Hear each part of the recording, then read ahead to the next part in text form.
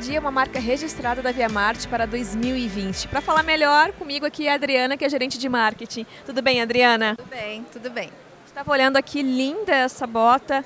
O que, que a Via Marte aposta para 2020? Quais são as tendências? Olha, a Via Marte sempre é muito forte nos coturnos, no casual, né, na, na, nos tênis casuais.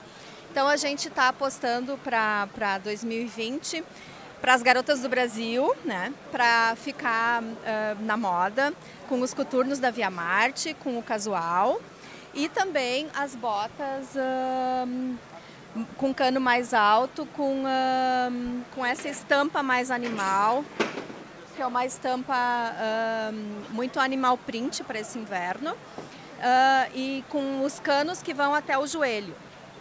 Mas o mais forte, assim, que a gente está apostando são os coturnos, os coturnos e os tênis, tênis casuais.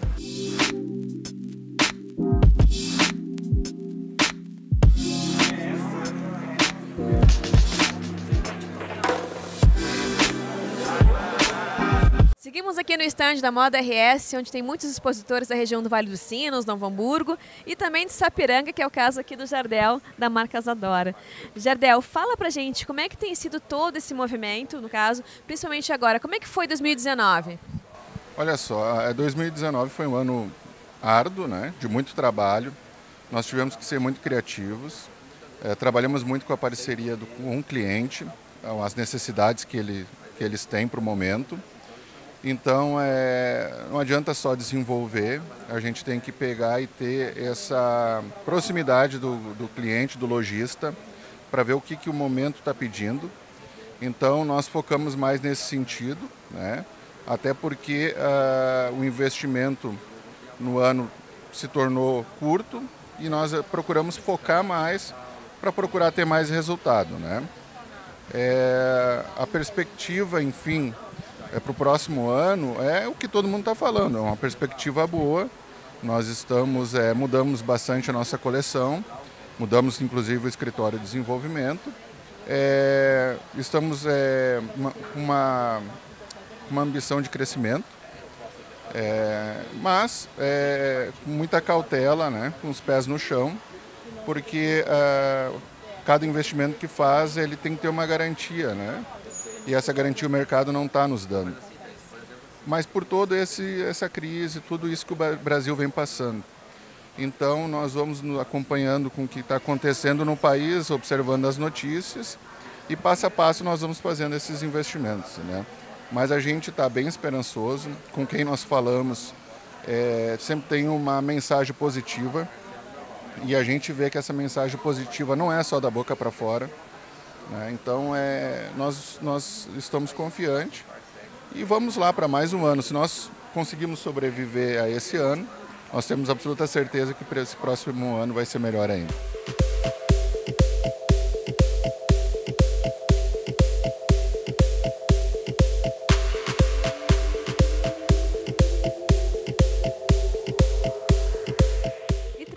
Marca presença forte aqui na Zero Grau. Aqui ao meu lado, Juliano, que é executivo do sindicato lá da região.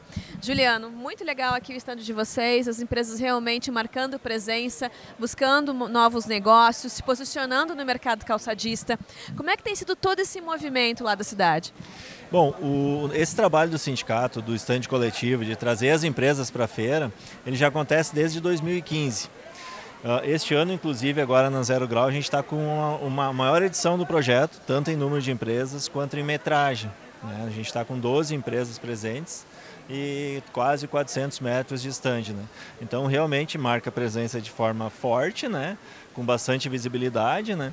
E um dos pontos que a gente defende muito neste projeto é que quando tu traz, reúne as empresas no mesmo espaço, tu torna ele um espaço atrativo para o lojista. Né? Então aqui dentro do nosso espaço o lojista encontra um mix variado de marcas, de produtos, né? Torna quase que uma passagem obrigatória dentro da feira. Né? A expectativa sempre tem que ser muito positiva, né? A gente sabe que a gente enfrenta dificuldades uh, econômicas a nível de Brasil, de América Latina e tal, mas as, as expectativas elas são boas e a gente trabalha para isso, né? Uh, Três Coroas realmente não é só cachoeira e templo budista, né? A gente, a gente tem várias empresas uh, com mais de 50 anos de mercado, atuando, né? Mas uh, o que vem trazendo bastante visibilidade nesses últimos anos realmente é esse trabalho que a gente vem fazendo através do Três Coroas Shoes, né? Que é a ideia realmente de, de uh, levar para o consumidor e para o lojista a identidade das fábricas uh, dentro do município de Três Coroas. a gente tem revista, de Três Coroas Shoes já está na oitava edição. A gente faz um trabalho já uh, que antecede cada uma dessas feiras, convidando os lojistas a visitarem as nossas empresas. Né? Como eu disse antes, a gente tem 12 marcas aqui no estande coletivo, mas a gente tem mais oito marcas com estandes individuais. Né? Então, assim, mas no trabalho de divulgação, a gente reúne todas essas empresas. Né? Então, assim, redes sociais, sites, ações junto a lojistas, uh, de quatro anos para cá, ela está acontecendo muito forte, sempre buscando levar o nome de Três Coroas e os diferenciais que essas marcas têm, porque uh, a gente sempre foi reconhecido pelo calçado de qualidade, né? Design, moda sempre caminharam juntos, né? E a questão da sustentabilidade é outro ponto muito forte das empresas do município, né? Que nem nós somos o único polo calçadista que tem zero em passivo ambiental. Isso é um ponto muito interessante, né? Inclusive, ontem a gente fez o relançamento do nosso selo verde, que depois pode conhecer também, né? que justamente uh, leva ao lojista e ao consumidor uh, esse trabalho, né? o resultado desse trabalho que a gente vem fazendo ao longo dos anos. Uh, as empresas de Três Coroas, hoje, o, o, o resíduo da produção de calçados que eles geram no mês, a gente já consegue encaminhar ele para reciclagem, para o reaproveitamento ou se não para uma destinação final que hoje é a queima para gerar energia. Então, termina o mês, termina o resíduo. Né? Isso é um ponto, outro ponto alto das empresas de Três Coroas que a gente destaca bastante.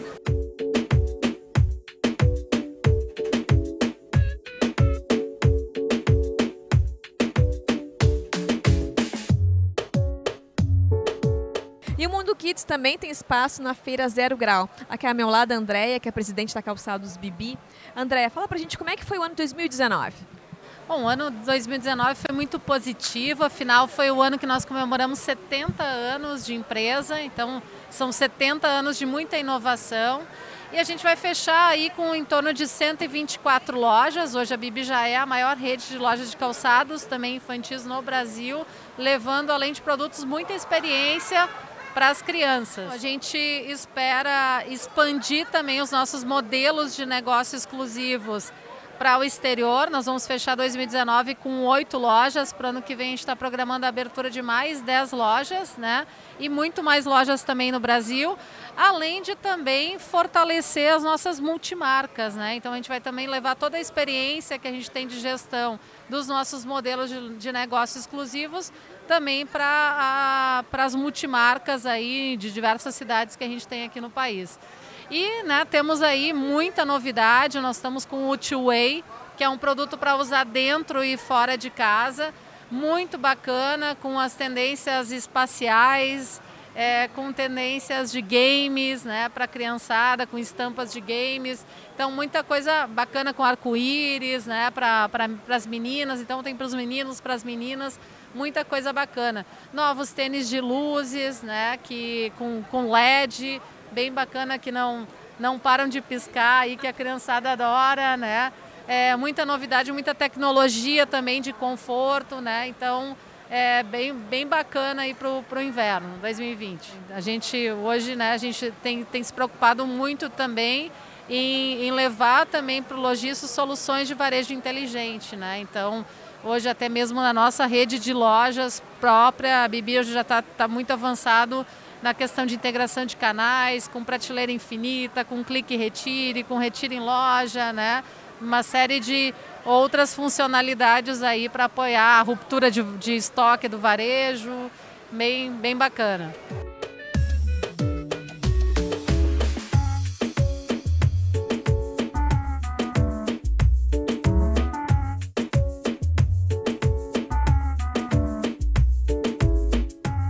Falar sobre o pessoal lá de Três Coroas, que é um dos grandes incentivadores aqui da Zero Grau. Comigo, o Joel, que é presidente do sindicato lá da região.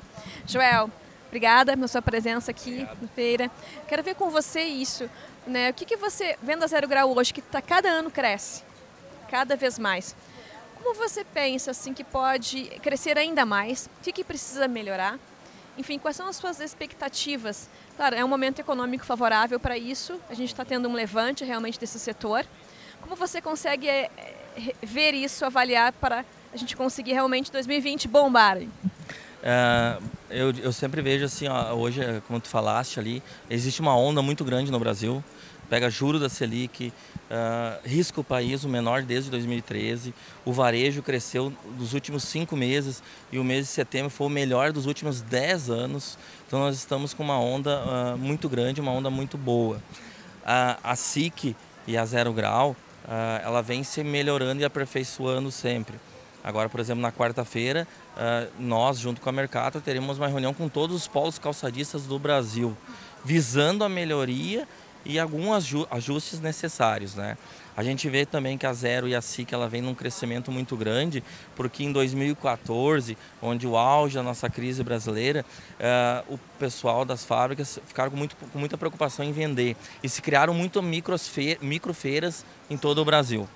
Então agora a gente vê que essas microfeiras estão se esvaziando e fortalecendo cada vez mais essas duas de gramado. Eu tenho certeza que esse ano vai ser uma virada espetacular para o calçado.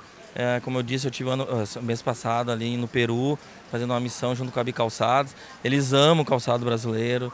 Uh, América Latina, de uma forma toda, adora o sapato brasileiro. Os europeus, com essa abertura do, da, da, do mercado comum, também adora. Nós temos muita qualidade, muito prestígio lá fora. E hoje uh, de, nós somos lançadores de moda. Então o pessoal vem copia sapato nosso, que antes era o inverso, nós íamos e copiava. Agora é o contrário. Então tenho certeza que 2020 vai ser para estourar. E essas feiras nos auxiliam para isso.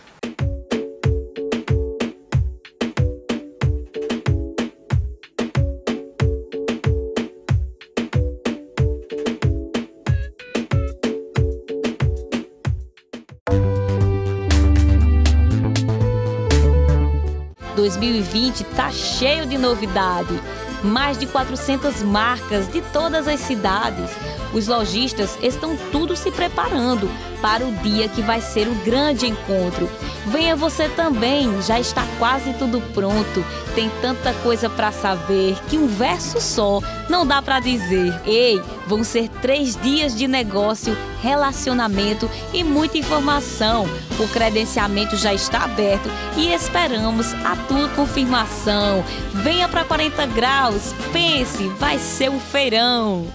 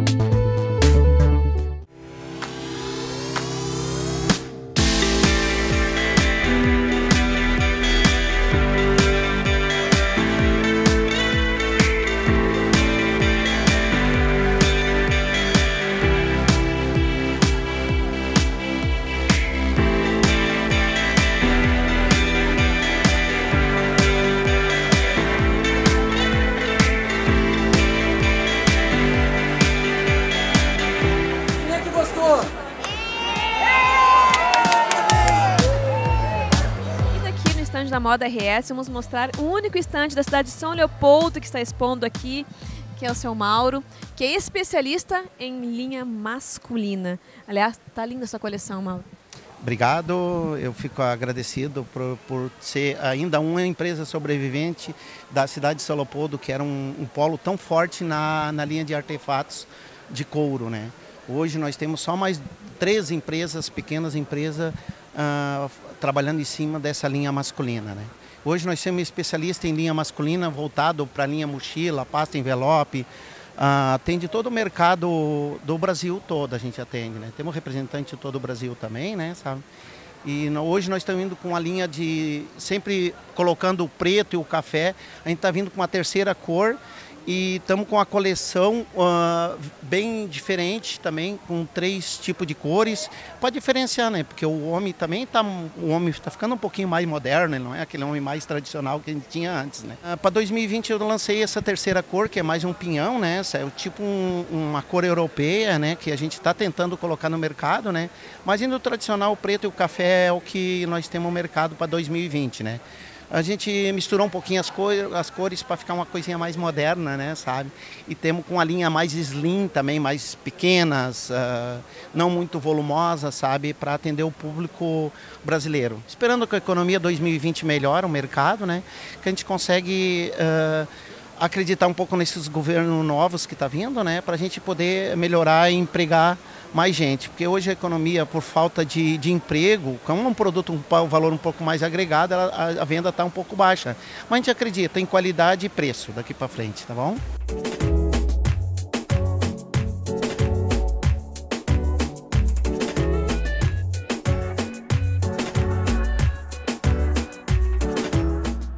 Grandene chega na Zero Grau com um stand muito bonito, com todas as suas multimarcas. Realmente veio para marcar a Zero Grau esse ano. A gente está muito satisfeito com a movimentação, com a percepção dos clientes em relação aos lançamentos. Isso nos, nos permite eh, antever um primeiro trimestre, pelo mínimo, é bastante otimista. Como é que foi 2019? Já está chegando, estamos chegando já no final. É. 2019 foi um ano difícil, ah, mais difícil no primeiro trimestre, porque a Granense se recuperou bem no segundo, terceiro e a previsão no quarto trimestre é muito boa. Mas vai ser um ano sem crescimento, um ano difícil, acompanha o mercado de calçados como um todo. Mas a expectativa nossa para 2020 é muito boa. Em relação aos, aos indicadores macroeconômicos, né? a gente acredita que deva reduzir o desemprego, ter uma expansão da renda, que é a massa salarial que nos importa os juros no, no, nos patamares que estão devem eh, aumentar o, crédito e com isso devolver a, a confiança ao consumidor. É, mas além das questões macroeconômicas, nós que trabalhamos com artigo de moda, ah, cabe muito a gente ter suficientemente competência para interpretar a tendência de moda num patamar de preço adequado e ter, e ter uma entrega dos produtos que tiverem uma demanda maior, ser mais acessível e estar à disposição do nosso consumidor. Isso é que faz uh, a gente prever também e estarmos otimistas em relação a 2020.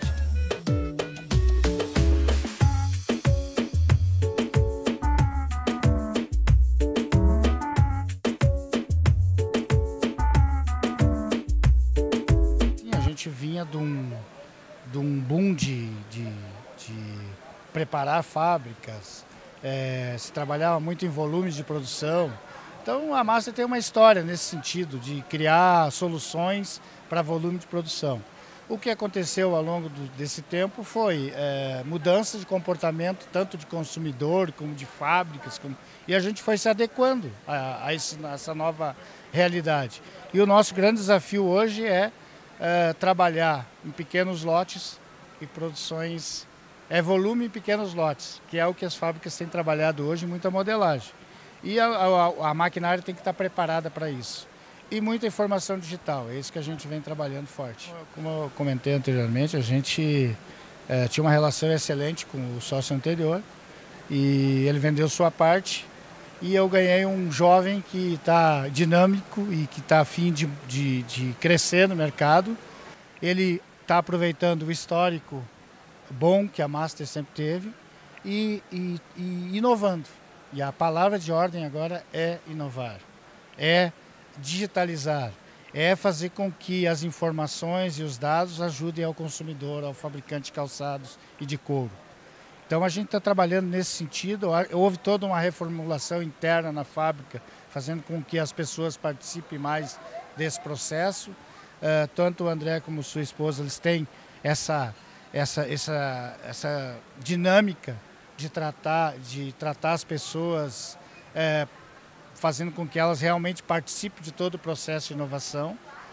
E, e, nós acreditamos que 2020 vai ser, além do mercado melhorar consideravelmente, pelo que a gente tem escutado, pelos movimentos que, que o mercado está tá indo, né? e inflação baixa, dólar alto, todas as coisas estão a nosso favor hoje, né? É, nós acreditamos que vai melhorar e nós estamos nos preparando para tanto, né? E preparando como? Nos preparando internamente, da porta para dentro, com uh, inovações internas e trabalhando muito em cima de processos de forma a digitalizá-los, ter dados para o cliente, o cliente poder entender o, o como o fluxo está dentro da fábrica dele com o produto que a gente vende, como ele vai ter o controle disso digital, né? E é o caminho da indústria 4.0 e a gente está nessa levada aí. Sempre atuamos muito forte na América Latina. A América Latina passa por um momento de turbulência, mas a gente, há muitos anos, nós temos uma marca bem posicionada na América Latina, né? É, a gente tem alguns negócios em Portugal, Espanha menos, mas assim, a gente também quer cruzar o, o oceano, né? a ideia é essa. É, mas assim, é tudo passo a passo. Ah, vamos tratar primeiro de melhorar o que a gente tem e, e entender as necessidades do nosso consumidor hoje, que é Brasil e América Latina. Próximo passo a gente vai ver ali na frente, mas a ideia é cruzar o oceano.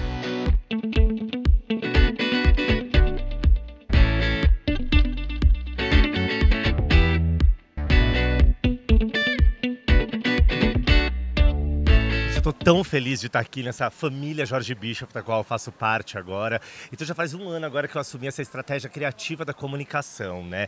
Então a gente tem feito todo um trabalho em cima das campanhas, da comunicação digital. Ele é um trabalho muito integrado com as franquias, com os pontos de venda.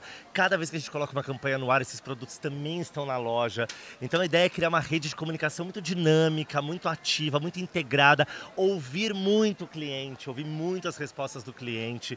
E eu não poderia estar mais contente porque essa é uma equipe muito entrosada, muito comprometida, muito responsável.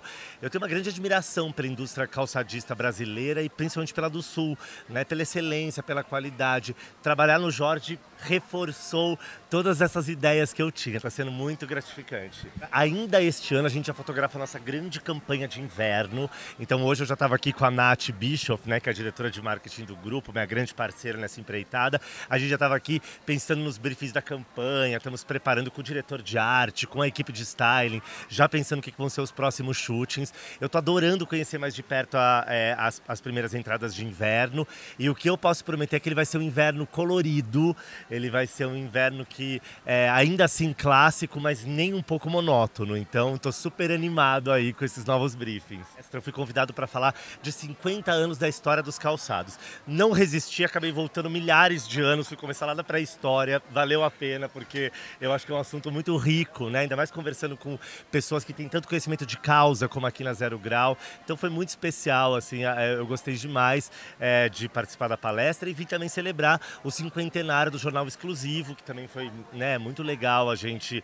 É, não é todo dia né, que um canal de comunicação faz aí 50 anos.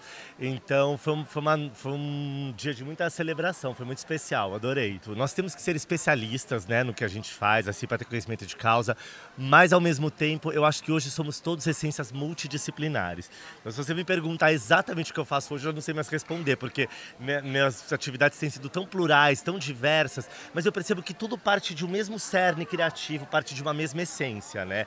Então hoje eu tenho assim, desde todo o trabalho que eu faço com TV, com audiovisual, misturado com os produtos que eu licencio, com as, as marcas que eu faço styling. Eu tenho também um cargo acadêmico na, no Instituto Europeu de Design, do qual eu sou coordenador da graduação em Design de Moda.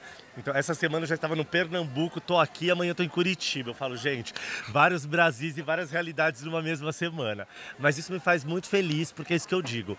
Mais do que o que você faz, é qual é a tua mensagem. Então, eu acho que é, essa é a ideia que me move. Adorei Gramado, já dei volta, vi as luzes da cidade, vi o Papai Noel, já entrei no espírito natalino. A cidade é linda, né? Parece de mentira a cidade, eu falo, né? Hoje eu quero conhecer o Mini Mundo. Eu falei que eu quero ir lá fazer uma foto no Mini Mundo. Eu gigante no nós gigantes no Mini Mundo, mas eu adorei, fui super bem recebido. Gente, eu tô impressionado com a feira, né? A gente numa quarta-feira aqui, a feira bombando lotada, a cidade também e super preparada também para receber esse fluxo de turistas, de compradores, né? Então é incrível, muito bom ver a nossa indústria calçadista fortalecida e uma feira sendo tão bem, representando tão bem a indústria como a Zero Grau. Um beijão! Minha filha vai amar saber que eu tive aqui. Oi, Bernardo! Tudo bom? Oi, Vitor! Sou eu, aham, Papai Noel! Beijão! Ho, ho, ho. Oi, Gustavo! Oi, Enzo! Oi, Theo! Sou eu, aham, Papai Noel! Sou eu, aham, Papai Noel! Quero desejar um ótimo Natal pra ti, cheio de amor, de esperança, de felicidade.